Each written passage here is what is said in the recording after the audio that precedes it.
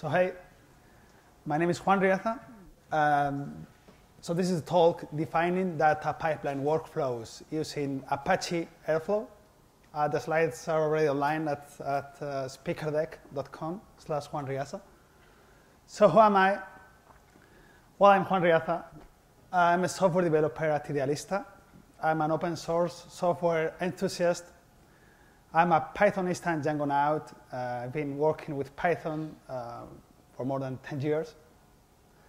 And I'm trying to tame gophers, if you know about Golang. And I have a curious hobby. I like to reverse engineering uh, mobile applications. That's uh, I sent another proposal for uh, for reverse engineering Android applications, but it was finally this one, the Airflow one. And I also have some normal hobbies such as uh, cooking and reading. So I'll give you th uh, 30 seconds uh, just to, to read this comic strip from, uh, uh, from XKCD.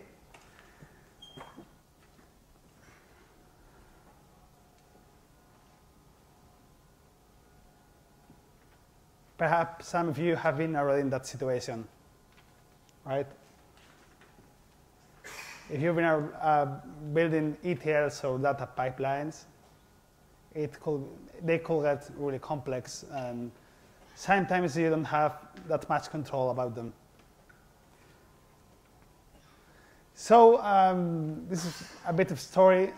In the beginning, there was cron. I guess when we start, um, um, developing um, ETLs or data pipelines, we always think of cron. Okay, we have to schedule a certain task at uh, some specific hour, and we need cron. So let's let's imagine this uh, imaginary uh, three steps data pipeline, where we pretty much have uh, the first step is about gather data the second step is about, it's uh, just a simple ETL. And the last one is about reporting. So uh, they have dependencies between them. That's uh, one thing that we are going to suppose. And we have been checking for how much time, how much time uh, they need, uh, each step need to, to run. So uh, we, the first step runs at, at 10 p.m. And we know that uh, it, it lasts just one hour. And, and of course, uh, by midnight, the second step is, is ready for uh, consuming the necessary data or dependencies uh, from the first step and so on. Mm, well, uh, that's pretty inefficient, right? Okay, we, we know already how much time uh, it's, we're using at each step so we could just re reduce the, the spare time between all of those three different steps. And uh, we're happy. Now it, run, it runs way faster. But uh, we could get into some problems. So let's imagine that the second step fails. So now we don't know what will happen to the third step. Uh, uh, pretty much works. Let's imagine that uh, the first step takes longer than usual, and it's, it overlaps with the second step. So well, we're in the same uh, situation. Uh, we don't have visibility about what has happened at all. So I call it, this, this thing I call cron hustle. Uh, so we have lots of problems if you're using cron, such as managing dependencies. So there might be possible overlapping failure handling, do we need to retry a step? How do we handle um, failure at each step? Uh, how do, we notify errors? We don't have metrics. Do we have visibility at all about what happens overnight? And well, it will be okay to have unified logs. Um, I have, I, I, mean, we don't know in which language each step has been developed, and it, it will be okay to have unified logs um, from all of them. And I don't know if you have tried at, uh, to develop a distributed cron. I've done it in the past for a young application, and it was uh, a nightmare. And if you are uh, working in a um, data engineering role, uh, you perhaps maintain a calendar of batch jobs that needs, that needs to be done. And you're always wondering this, what happens if you have so many questions? And every day it's a new adventure, pretty much. So Meet Airflow, well, that was a nice, nice animation. So overview of what's Apache, Apache Airflow. It's a platform to programmatically, that means that uh, we define everything with code, author, scale, and monitor workflows. Uh, it's pretty much the glue that binds your data ecosystem together. It's open source, right, written in Python, and was started in October uh, 2014 by Max Beauchemin at Airbnb. There, there's a lot of uh, really cool projects uh, from that time at Airbnb. You might know as well uh, about Superset. And it's been incubating at uh, Apache Software Foundation uh, since 2016. Now, the project is, is pretty strong. It's uh, 550 contributors and and increasing. 5,300 commits, and over 10,000 stars at GitHub. And well, this was from yesterday. I had to modify the slides this morning because they were just celebrating that they had passed that 10,000 stars at GitHub, at that mark. So there are lots of companies, a really big one, really big ones that are using already Apache Airflow for uh, their data teams. So it's not just mad, it's not just um, a small thing that it's still incubating at Apache, at, this Apache Software Foundation. So some, what, what are the typical use cases for Apache Airflow? Um, well, pretty much ETL pipelines, that's the, the, the most common. But machine learning pipelines, predictive data pipelines, such as fraud detection, scoring, ranking, classification, recommender systems, or just any general scheduling. Even uh, the DevOps team calls Apache Airflow for uh, lots of related tasks such as DB backups. But pretty much it could be anything. I mean, why not just automate your home's garage door or whatever? It's just a workflow orchestrator. So it could be anything, not just ETLs. So uh, let's uh, check a bit of theory about Apache Airflow. Airflow uses operators as the fundamental unit of abstraction to define tasks. So tasks are equal to operators. And uses what is called a DAG uh, to define workflows uh, using a set of operators. So DAG is uh, the whole uh, bunch of operators.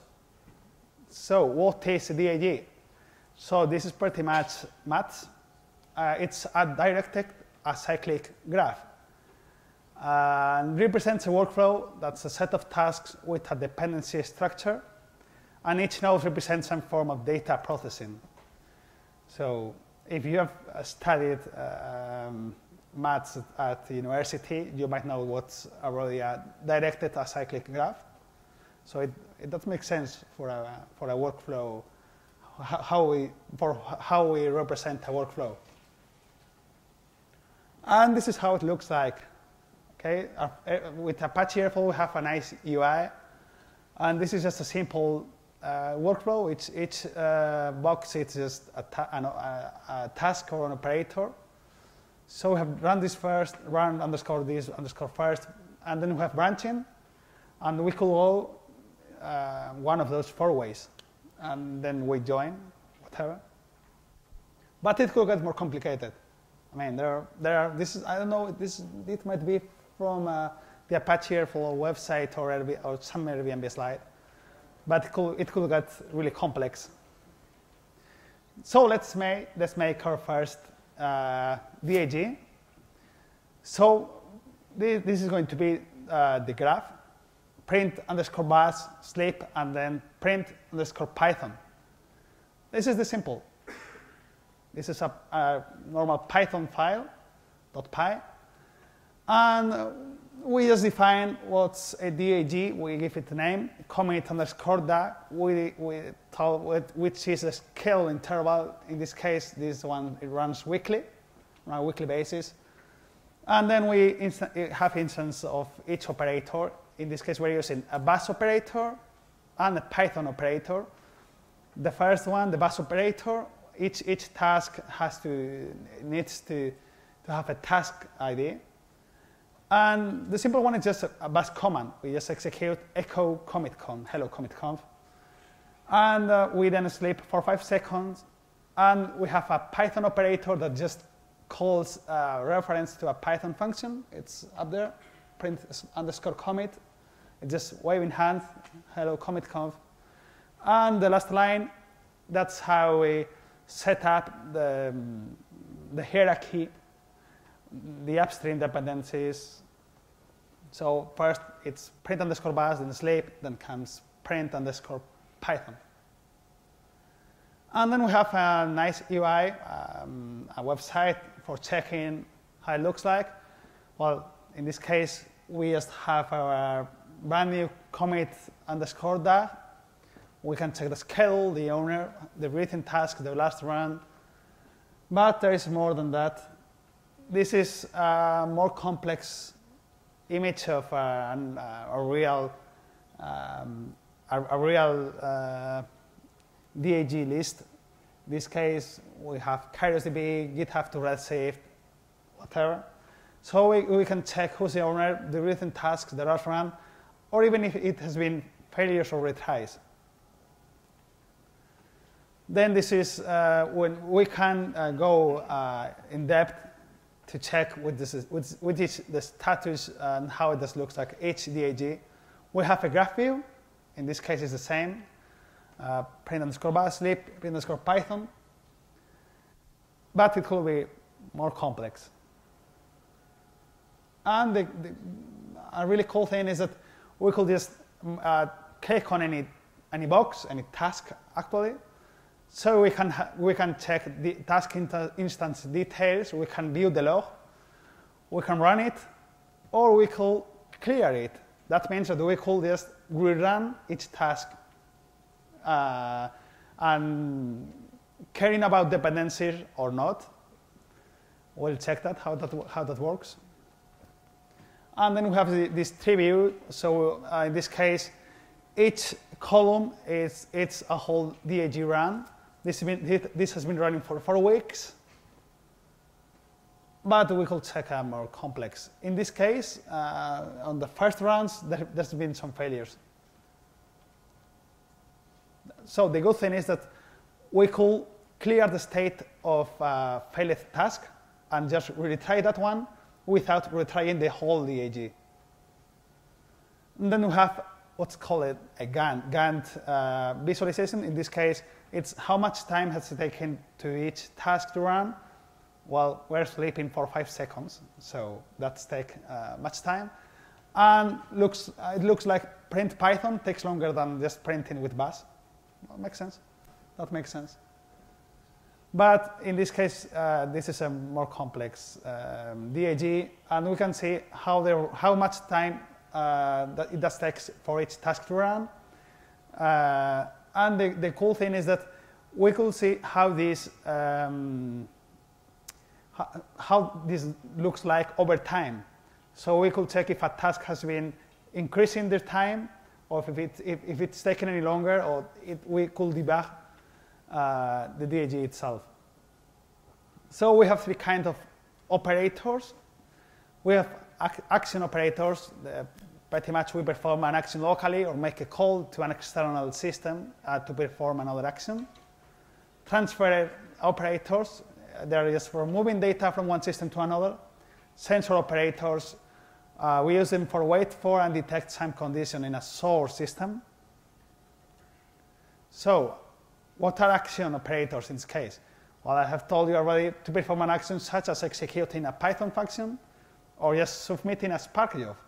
So we could just run a Python function locally, but we could as well, uh, I don't know, perhaps launch a Kubernetes cluster to run our workload or uh, create on the fly um, um, an AWS EMR uh, Spark cluster to, to run whatever we want to do with the ETL. And the good thing is that we have lots of built-in operators that are, that are already on the source code of Apache Airflow, such as Vars operator, Python operator, Docker operator to run a Docker, on, a Docker container on the fly, email operator. Um, and we have lots of community contributed ones. Some of, some of them are, are, of course, commercial, such as Databricks, you might know them, AWS, and GCP. So we could just automate and integrate all of those systems, such as do we need to run a query uh, using BigQuery? No problem. Uh, Google has already uh, make a BigQuery operator and works out of the box. We have as well transfer operators to move data between systems, uh, well, such as from Hive to MySQL or from S3 to Hive. Uh, so we have some of them built in, such as the Hive to MySQL transfer, S3 to Hive, but as well we have the community contributed ones uh, such as Databricks, AWS, or GCP. So do we need to move uh, data from S3 to our local file system? We will do it. Sensor operators, the, those trigger downstream tasks in the dependency graph we, when a certain criteria is met. For example, checking for a certain file has become available on, a, on S3 before using it downstream.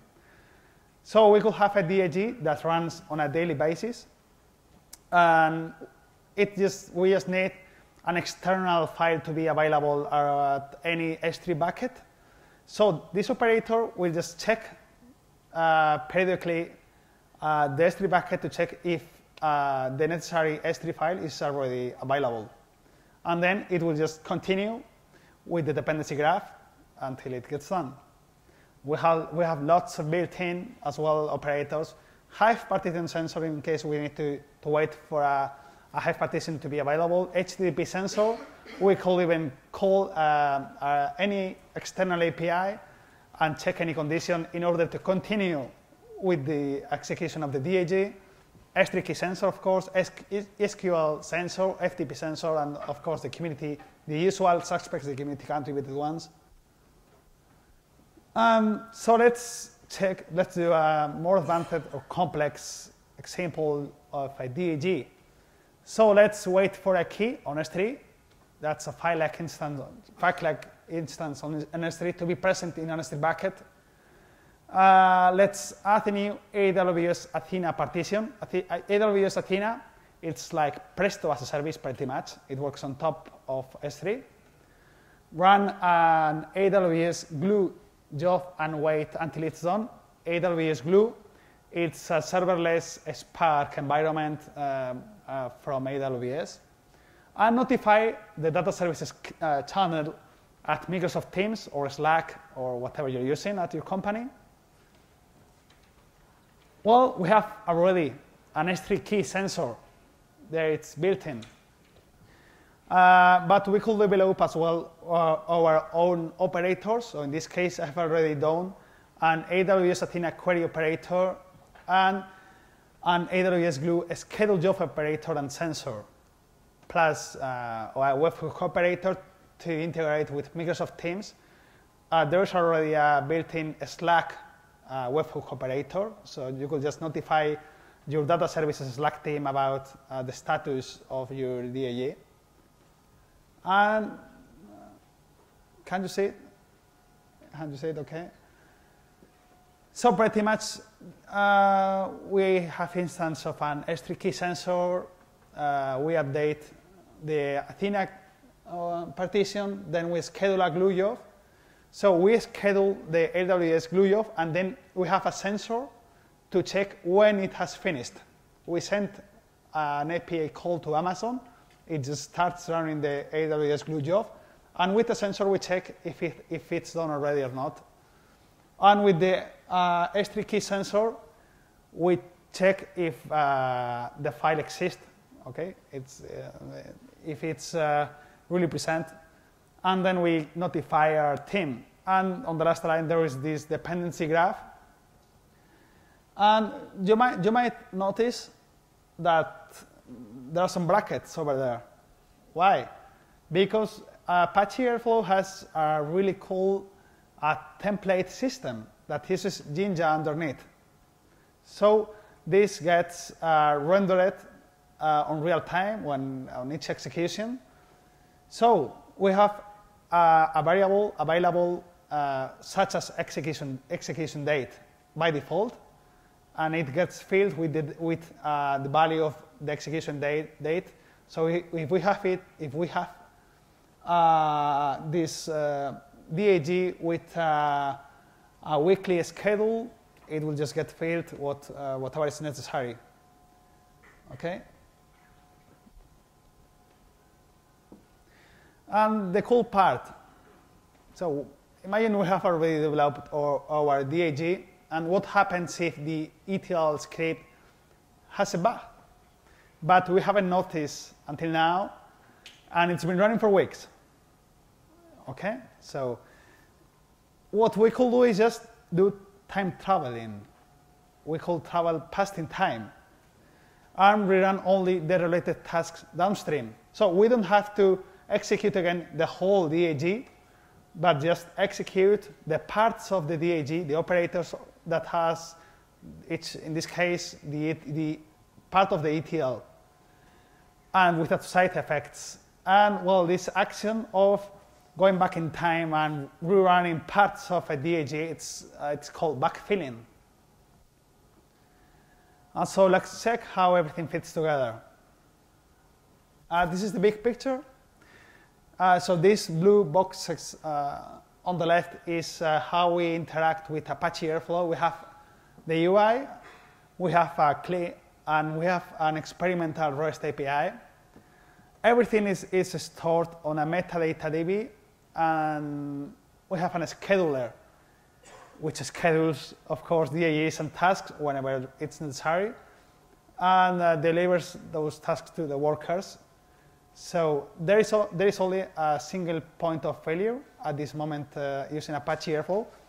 Um, the scheduler, uh, it's a unique single point of failure. We can replicate the scheduler.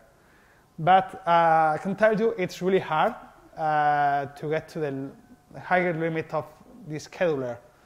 Uh, companies such as Airbnb have some problems with the scheduler, but they are perhaps managing 8,000 DAGs uh, at the same time, so not a problem for a medium-sized company. So the core components, we have the, the web server, so it pretty much is the Airflow UI. It's, uh, it's using Python Flask, the scheduler who is responsible, which is responsible for scheduling jobs. And then we have different uh, kind of executors. So those are the workers. We have local, in this case it's just a Python process working locally. We have Celery, that's the most popular option, and it's just um, uh, the de facto way of, uh, of uh, a task, a queue-based uh, task workers on using Python. But then we have as well Apache Mesos and Kubernetes since a couple of months ago. So we can just run our, our workload on Kubernetes on the fly, on demand. And of course, uh, the metadata, the metadata database, uh, and that could be pretty much anything from an SQLite to MySQL to Postgres. Anything that works with SQL Alchemy uh, could be uh, used as a metadata, metadata database. So the, those are the interfaces, uh, the, the WebServer UI, the CLI, and our REST API server, which is a bit experimental at this moment yet. So the, the CLI. Uh, we have lots of different commands, uh, but pretty much it's used to run the core services, such as uh, running the web server, the scheduler, to perform some uh, metadata DB operations like, well, schema, reset the, the state of the, DB, of the DB. To operate on DAGs, we could pause the execution of a DAG. We could trigger the execution of one of them. We could do some backfill. We could perform backfills directly from the CLI. And of course, we have lots of useful commands uh, for develop and testing. So the web server UI, uh, it does pretty much search for uh, having a quick look into DAG and triggering, uh, triggering and checking uh, the task, task's progress. Uh, it does have error logging integrated. So the good part is with Airflow, uh, each step could be, or each task or operator could be in a different language. We could have a step which is just Bash, another step which is just Python, Golang, or even an external service. But we have the information about what has happened on uh, every step on a unified log uh, that, we could, that we can check at the web server UI. We can browse the metadata. We will check what's that, what's that later. That's XCOM variables and service level agreements, and check for historical, historical stats. So um, th that's the first beginner question when uh, anyone starts to use Apache Airflow. How do we move data between, between one task and another? Uh, this is not Apache NIFI or any system like that. So in theory, uh, all data processing and storage should be done in external systems. Okay? Because we can't assume that, the, that uh, all, this, all, all the operators are going to be executed on the, even on the same machine, right?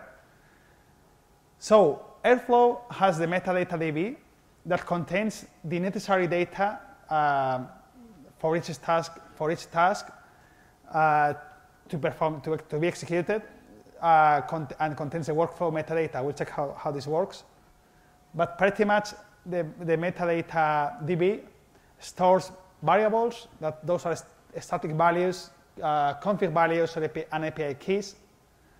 And we have this special term that's called XCOM. This is how one task communi communicates with another task.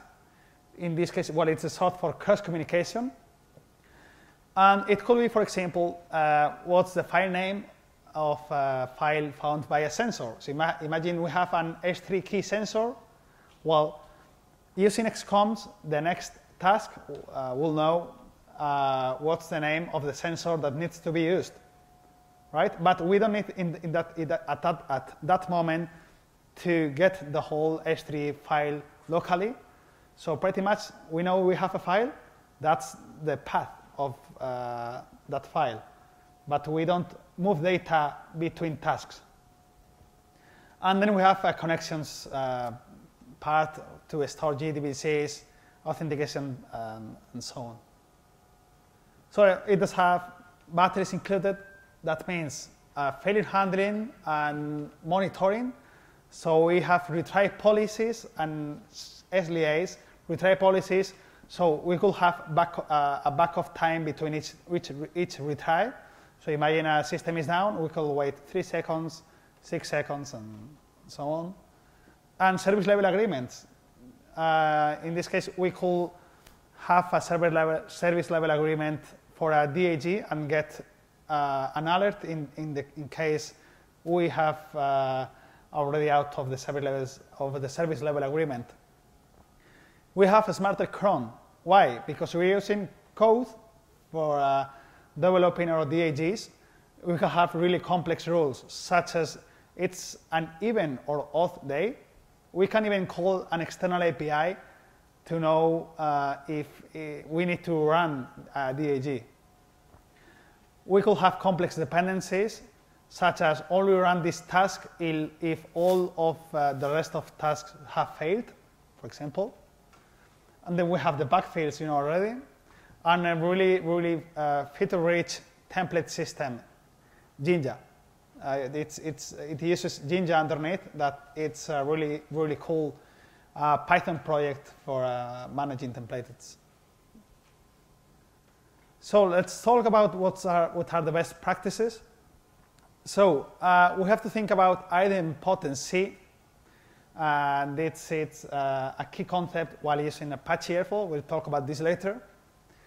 But uh, Apache Airflow allows us to do, for example, to pipe all the logs to a remote storage, such as S3 or uh, GCS. So in case uh, our Apache Airflow system goes down, we have already all the logs stored somewhere else. We could have backup retries, and we need to think about, uh, imagine that you have, that you could run each task and it, it, it doesn't have, uh, it's, um, if we retry a task, the results will be the same every time. So that means no side effects. So if we stage transform data, that means imagine that between each task we store uh, the data at an S3 bucket. So if we retry any task, we don't lose any information at all. So yeah, it's perhaps a waste of uh, resources in terms of storage, but I mean, we're more calm, relaxed, knowing that we could retry any task at any moment and the result is the same. So uh, some recipes, we could generate dynamic DAGs. So well, underneath Apache Airflow checks every py file in the DAG folder and register any available DAG defined as a global variable. This is a bit of a hack, actually.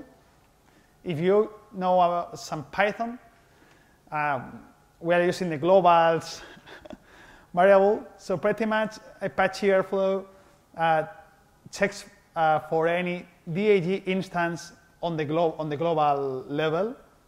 So we could do pretty, pretty much whatever we want. In this case, we're generating on the fly 10 DAGs. But we could do a DAG from whatever. For example, a variable value that is stored on the metadata DB, a static, a static file. In, my, in, in the case of Idealista, we have a, a unique Python file, and then we read a bunch of YAML files which defines uh, all the necessary data for each source or system that we need to process. It could, but it could be an external source based on connections. You could call a MySQL database to check what needs to be, to be run and generate a, a, a DAG on the fly. Uh, this was pretty much Apache Airflow because I want to talk a bit about data engineering and why I think Apache Airflow uh, empowers data engineers. And I think it's uh, Airflow, it's enabling um, lots of the best practices for data engineers. So does anybody know about Maslow's hierarchy of needs? I guess so. So uh, this is a really cool slide. Um, I don't know the author at this moment. We, I have a citations and attributions at the end. So if you could check, you can, you can check. But pretty much, this is what I call, what, what uh, the, the blog post author called the hiring out of order uh, problem. So companies are focused just on hiring data scientists. For what? They, I mean, they, they, they waste 80% of their time just cleaning data or doing stupid tasks, and they're pretty much, they pretty much underperform. So we need to think about data literacy collection and infrastructure and that's for what data engineers are for. Pretty much what they're all about. Design, build, and maintain data warehouses. What's a data warehouse? A data warehouse is a place where raw data is transformed, uh, is, is transformed and stored into queryable forms. Uh, so anyone at the company could just consume that data sets, those, those, that data, and enable higher level analytics be it business intelligence, online experimentation, or, or machine learning. And uh, this role, of course, need, uh, we need to master uh, some key skills, such as SQL mastery. So any data engineer needs to master SQL, absolutely. So if English is the language of business, SQL is the language of data. And there are lots of best practices for data engineers, such as load data incrementally. That means, for example, imagine that we have a weekly DAG. We will append data on a table, for example, and load data in a way that we could just retry, retry or rerun it without any side effects. Process historic data, that's called backfilling. Of course, we need to know about the term of partition so we have to, part, to have partitions on our ingest data. So if we do that, we pretty much enforce the idempotency, idempotency constraint. And uh, there's, a, there's a really good phrase I like, lot, I like it a lot. So sometimes we can see the forest for the trees.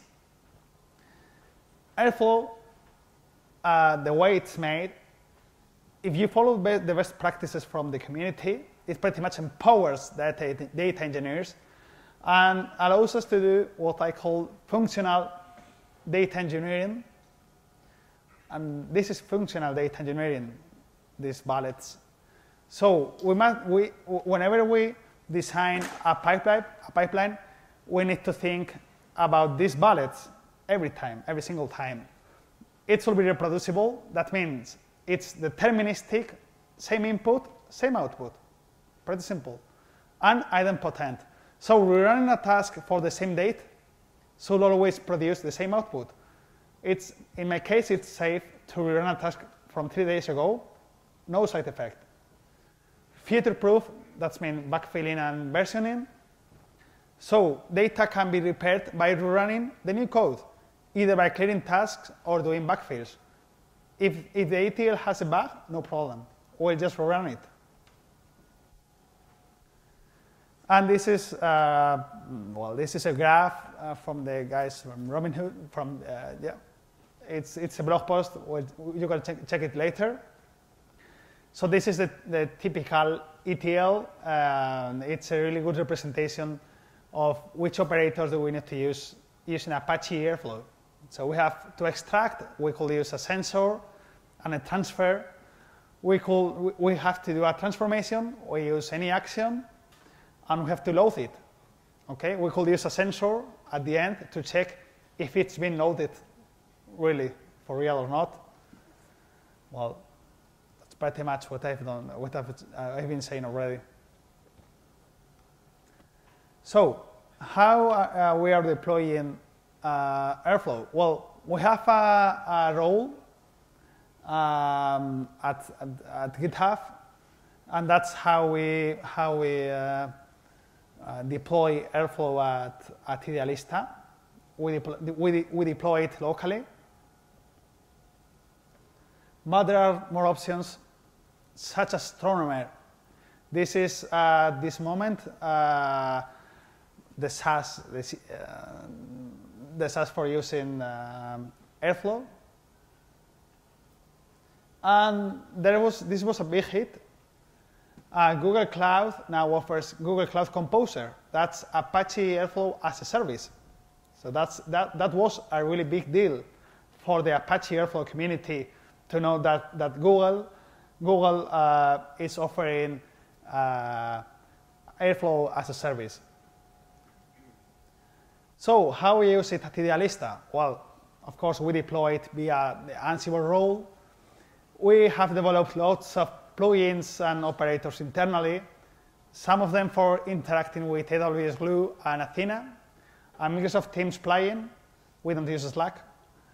And uh, an AWS S3 to, F, uh, to FTP sync operator, so we could sync any S3 bucket with an FTP folder. So, if you have any questions, this is the moment.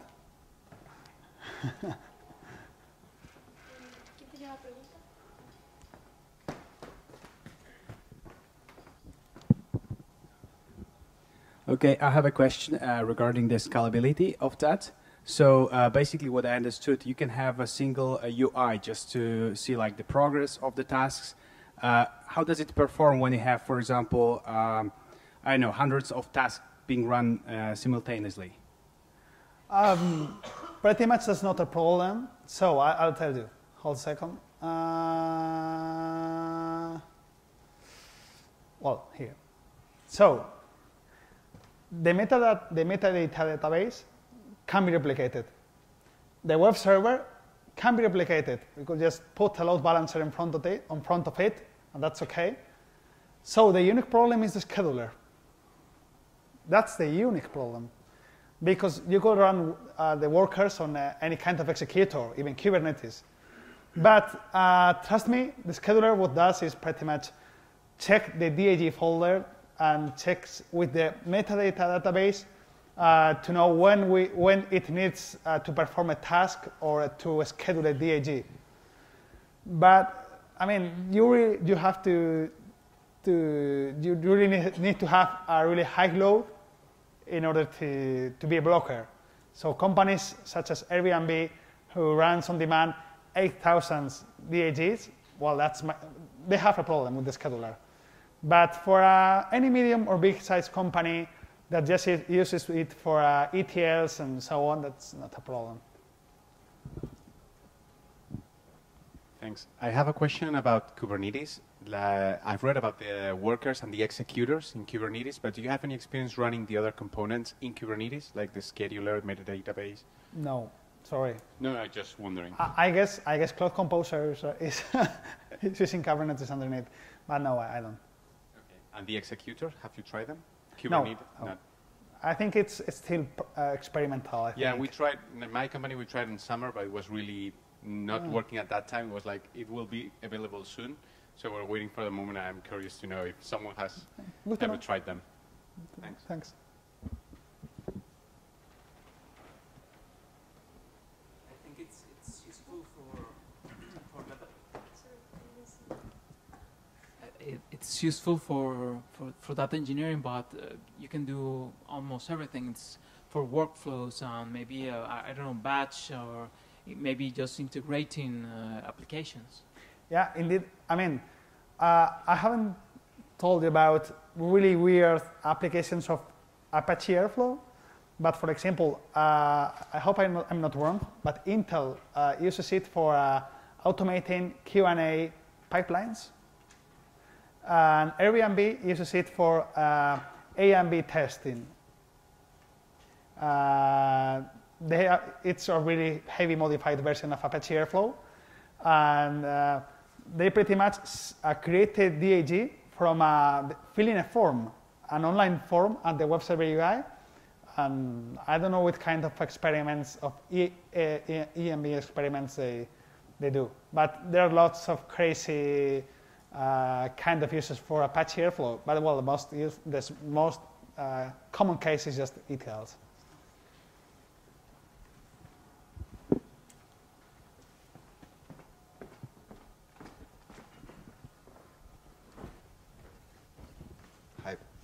Um, I have a question uh, about the, um, the, implementation of the or the SaaS the um, Google have.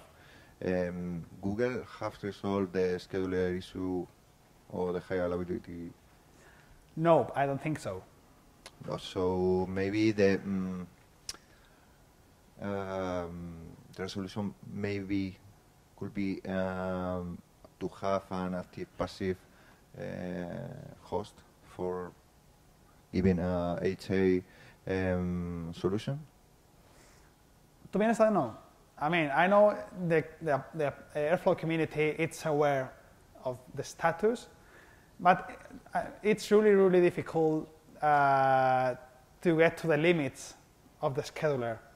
I mean, if you're running, of course, at the scale of Airbnb, oh, that's a problem. But uh, for the most common user of Apache Airflow, it's not a problem. Yeah, but, but you need to upgrade the system or shut down machines, you know. Well, in this case, I mean, all, all the uh, data necessary for Airflow to run, it's stored on the metadata DB. So if the scheduler goes down, no problem, no problem. You just uh, run another scheduler, it, it, will just pick up with the metadata DB and keeps running. Yeah, it's, it's I mean, uh, with a active passive uh, uh, model. Yeah, I, I, don't know to be to, to, be honest. What's the status of that issue at uh, at the pro, uh, at the level project of Airflow? I don't know if it, there is any issue open that it could have, but I know some some on some meetups they have told about uh, that being a problem, but it's just for really really big scales, not um, the most common users that don't don't hit the scheduler limit. Okay, thank you.